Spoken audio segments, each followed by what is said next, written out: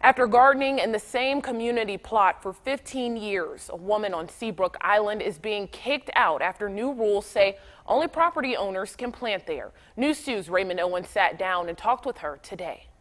A change in the rules governing this garden plot here on Seabrook Island has one resident really upset, and her neighbors are rallying behind her. For the past 14 years, Mary Johnson has maintained a plot in the Seabrook Island Community Garden. She's a resident of Seabrook. The garden had its own board until this year when control of the board was moved to the Neighborhoods Board. Well, that board made a change that only allows property owners to have a plot in the garden. Mary rents her house. She says she was told she was the only person with a plot who rents.